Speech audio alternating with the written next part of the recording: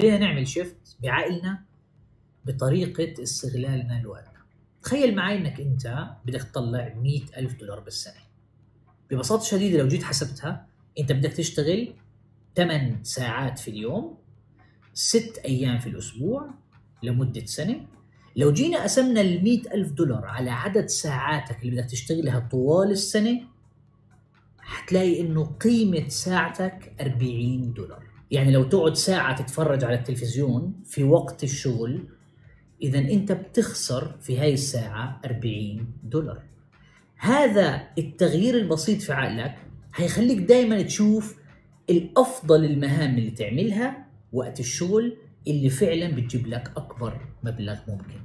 فكر في هاي المهام وإيش اللي ممكن تعمله فعلا يكون قيمته مع الوقت أكثر من 40 دولار. وضلك اعمله حتلاقي المبلغ اللي انت بدك إياه.